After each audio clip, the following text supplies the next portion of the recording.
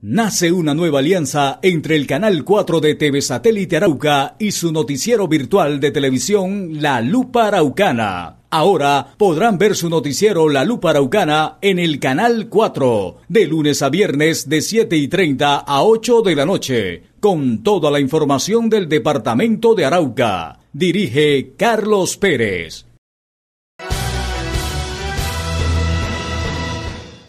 Y la administración departamental busca acercamientos con los gremios del departamento para que estos se hagan cargo de la administración del nuevo complejo ferial. El lío jurídico ya fue resuelto.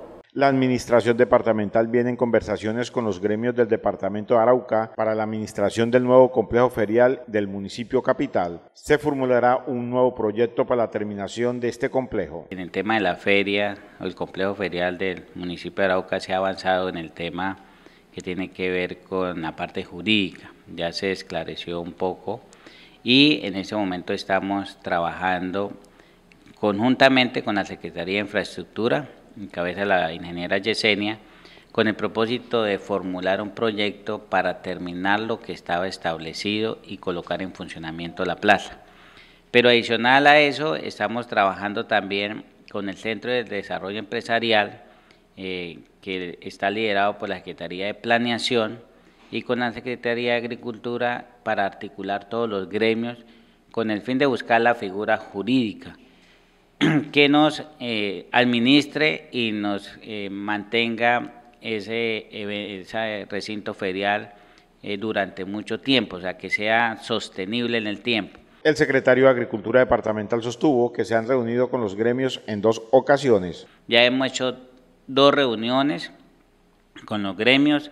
Hay muy, muy buena aceptación por parte de los gremios, estamos escuchando las ideas, tratándolas de llegar a, un acuerdo final y para el próximo viernes eh, tenemos una visita en campo con el fin de que eh, ya ahí determinemos cuáles son de pronto algunas otras acciones que se pueden hacer para que este complejo cumpla con el objetivo para el cual fue construido. Según Ramón Ríos, lo que se busca es integrar a todos los gremios del departamento de Arauca. Aquí queremos integrar a los arroceros porque tenemos una báscula que nos permite eh, hacer el pesaje eh, de los camiones, hacer el pesaje también del ganado, tenemos los corrales que nos permiten la comercialización y la idea también es articular a las entidades que hacen parte del sector agropecuario, como es el SENA, como es el ICA, como es el INVIMA, como es la misma Polfa para que haga las revisiones de todos los productos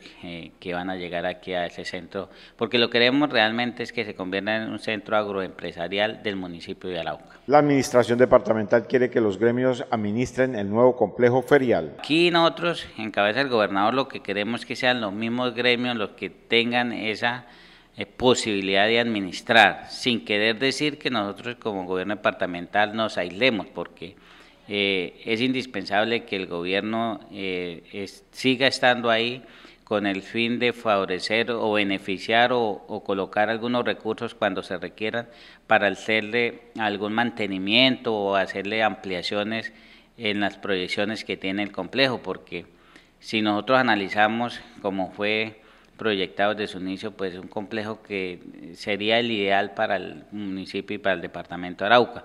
Pero la idea es que sean los gremios los que lideren esa propuesta. El jefe de la cartera de Agricultura señaló que esta obra está en la lupa de los entes de controles. Esto eh, requiere de agilidad porque pues es un proyecto que está en los ojos de las entidades eh, que nos fiscalizan a nosotros el DNP está preocupado por eso y es una tarea que nos eh, tenemos eh, como requisito del DNP nacional.